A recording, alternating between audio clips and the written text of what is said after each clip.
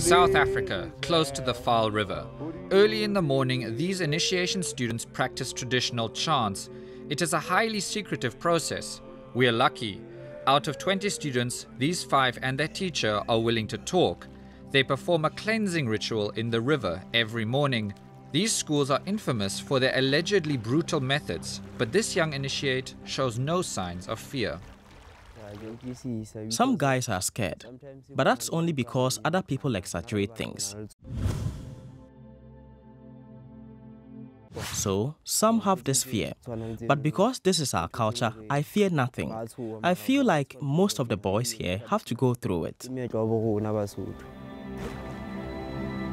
The traditional Xhosa, Ndebele, and Pedi ethnic groups believe a boy can only become a man if he goes through the rites of passage, like chanting, stick fighting, and hunting. The rite of passage culminates with the circumcision of the students, performed in an open field by a traditional healer. While only a minority of the schools are accused of mistreating their students, many push questionable ideas about masculinity. Because once you come from this place, you cannot cry.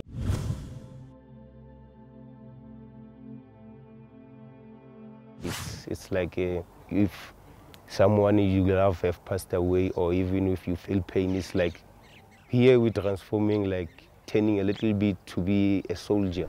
Attitudes like this made this young man's experience all the more painful. At the age of 18, Xolani, a Xhosa, was sent by his father to an initiation school. As soon as he arrived, he and his cousin were subjected to daily beatings. But Xolani's cousin was a proud young man and defied the humiliations.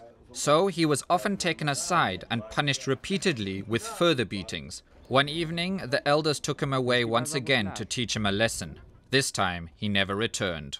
My cousin never came back because he was a fighter.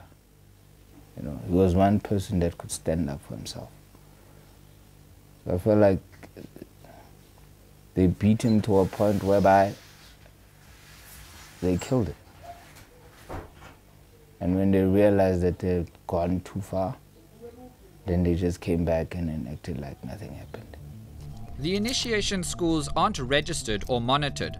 Much like female genital mutilation, initiates can also die as a result of botched circumcisions, traditionally known as ulwaluko, or lose one's manhood forever. When Xolani asked about the whereabouts of his cousin, one of the elders threatened him with the same fate. Xolani knew then that he had to flee. For me, I had to choose in terms of hurting my mother and my father by being a deserter or hurting my mother and my father by being dead.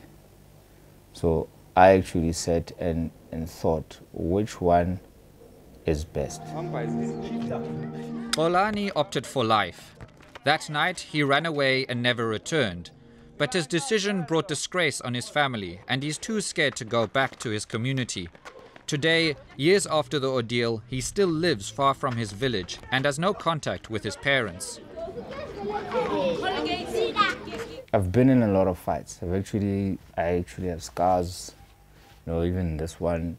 Like you, you constantly have to prove yourself as a man. And I don't think that will end until I get that confirmation from my father. Having an open discussion about the point of initiation rites is almost impossible because the young men are not supposed to talk about their experiences. Many who are traumatized carry it with them for the rest of their lives.